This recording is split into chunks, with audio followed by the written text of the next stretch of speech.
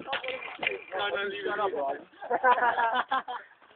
Oh, so he's got puke in man. Put your hand in. oh. I would be too sorry put his dark side of my face. See this guy didn't mean in the fucking car, man. He made me choke on. Get him back. I don't want either one of you to back down.